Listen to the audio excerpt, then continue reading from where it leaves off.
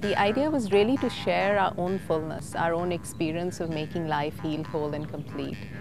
It's for more people to realize that we're connected in all ways and it's to create more compassion in people because I think living in a place like Manila, which is one of the most densely populated cities in the world, we get hardened by our realities. So this is about softening that and being in a position to make choices, our everyday choices. If we all made like little changes and little shifts in how we live every day, it would really have such a huge impact.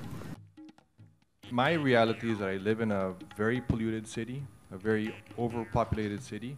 We're confronted today with global issues. Climate change, there's food security, and there's also how are we going to power ourselves for the rest of the time we're here.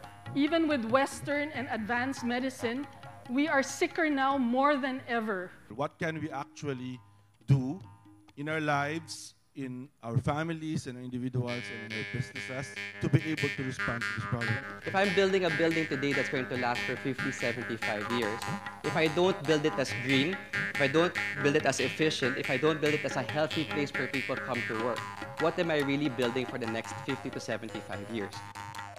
We really require a shift in the way we perceive life away from a very consumeristic, materialistic approach into something that's more whole, something that's more long term, more collaborative, more sustainable, more regenerative.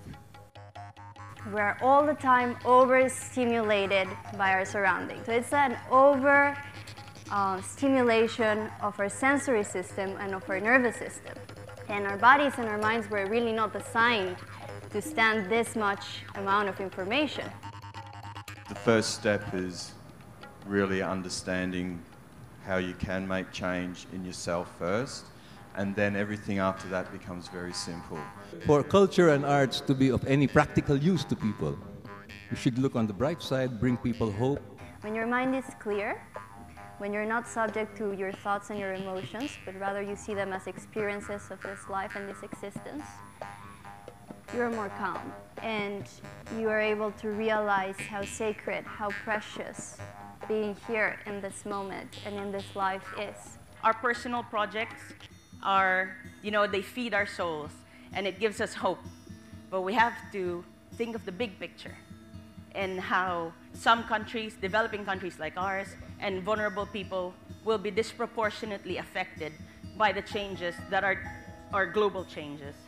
The best thing that we can all do is by being here and being a group that can actually make change by getting more people on board and being able to tell your stories. What is most important is for the realization of all these individuals who are present here to start acting and putting this action together so that we will create an impact in redefining our world. It inspires me to be more focused, to be more disciplined in my own, the things I do. We care for the land, we care for the people on the land, and through combining our eight principles, we're creating abundance so everyone gets a fair share. There is an evolution in all of this. There is a change in the world. And we are all part of that right now.